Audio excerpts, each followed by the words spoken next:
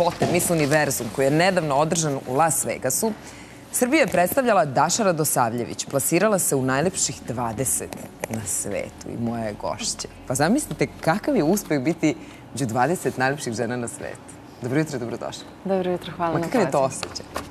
Osjećaj je zaista fenomenalno. Ja sam došla pre dva dana i zaista sam puno utisaka. Mhm. Sve je bilo fenomenalno. Osjetila sam svetla najlepšeg grada, sve to doživela.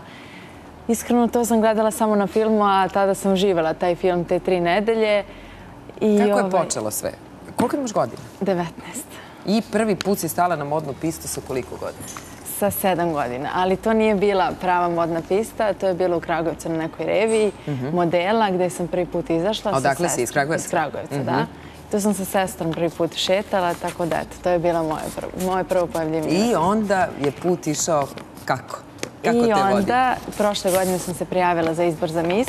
Mhm. To je prvo, to je prvo na izbor za mis Šumadije, gde sam bila mis Šumadije. I Kasnije sam se direktno plasirala u top 20 najlepših devojaka Srbije. Nakon čega sam proglašena kao mi Srbije za Miss Universe i eto, tako je sve počelo. Pa dobro, ali to, pa nije to baš sad kao eto tako. Kao da zvuči jednostavno kad, kad ti to kažeš. Ali reci mi, molim te, kakve su devojke koje su danas, za koje se kaže da su lepotice, kakve su E, predispozicije? Ko, dakle, danas, šta se traži u svetu? Konkretno na izboru za Miss Universe nisu se traži neke određene mere ili visina. Mhm. Jer, devojke jer se to podrazumevalo? pa nije, ali devojke su zaista bile kao hollywoodske dive, sve do jedne su prelepe. Mislim, Koliko imaju godina otprilike? Su tu u tvojih godina? Ja sam bila među najmlađima. Među najmlađima, ja? Da, među najmlađima. Devojke su zaista završile fakultete, ozbiljne devojke i tome su se skroz posvetile. I jako mi je drago što sam ja uspela sa svojih 19 godina sve to da izguram i da budem na tom istom nivou kao ona. A znaš šta je interesantno? Interesantno je da si ti praktično jedina evropljanka koja je ušla izbrom glasova publike u prvih deset. Da, to je ono što me zaista oduševilo. Cijela Srbija, ceo Kragovec je bio na nogama, svi su glasali. Obzirom na to da je e, glasanje počelo 14. augusta, a ja sam tek nedavno saznala. Mislim, tamo sam uopšte saznala da je bilo tog internet glasanja i tačno da sam jedina iz Evrope koja je bila u top 10, tačnije 9. sam bila na internet glasanju, mhm. a na konkretno na izbor za misioner sam bila top 20 nakon čega je na finalnom castingu bilo proglašeno top 15 u koje nisam ušla, ali zaista sam prezadovoljna. Ba da, dobro, pa naravno. Ali uh, ajde sad to cijelo iskustvo, taj boravak uh, tamo. Koliko ste bili sve ukupno dana? Tri nedelje. Tri nedelje? Da. Te pripreme, uh, pretpostavljam si razgovarala sa mnogim ljudima. Nije tu najvažnije biti pobednik. Tu je najvažnije napraviti dobre kontakte. Jesi li ti na tu temu nešto uradila? Da, ono što me oduševilo to je odnos među devojkama. Ja sam očekivala stvarno zaista da će sve to izgledati kao jedno veliko takmičenje, mhm. ali u stvari sve devojke su zaista jako društvene, sa dosta njih sam ostala u kontaktu.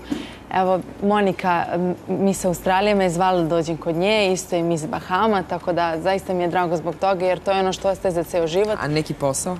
Neki posao, da, to isto. Ovaj, dobila sam ponudu da idem u Los Angeles, da mhm. plešem sa jednom plesnom grupom, tako da su pregovori u toku, pa mhm. kad nešto bude bilo zvanično, naravno, već te obavešte. Ali bi voljela da ostaneš u tim manekenskim vodama ili... Ja konkretno, moje lično mišljenje je da ja nemam visinu za manekenku. Koliko si visoka? Ja sam 171. Mhm. jer Parizom i Milanom šetu zaista visoke devojke, ali ono što mogu, ono što, gde mogu da radim, to je Turska ili Kina, tako da sad treba da imam neko slikanje Tamo su manje, niže. Tamo su niže, da. I ovaj, tako da, eto, probat ću tamo. Uglavnom, ples je moja strast, time se bavim 13 godina, tako da ako bude bila neke ponude. Ako bude bio taj LA dovoljno dobar za tebe, možda ćeš i da odeš. E, e, ti si dobila neku stipendiju ili ne? S obzirom da su se, da je bilo neki ponuda. Pobednica je dobila stipendiju za New York Film Academy, da. E, a šta se to desilo? Ajde, molim te mi da nam ispričaš to iz prve ruke, samo za kraj interesuje. Dakle, ono je skandal, proglašenje pobednice, pa onda izvinjavanje, pa suze, drama, pa voditelj ovaj- koji kaže pa pogrešio sam, pa nisi pobednica ti, nego je neka druga devojka. Pa probe su trajale, probe su trajale svaki dan po 10 sati dnevno, zaista bilo jako istrpljujuće.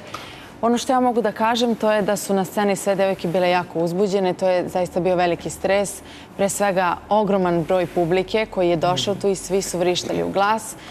Naravno, to nije greška organizatora, jer je na ekranu jasno pisalo da je Miss Filipina pobednica.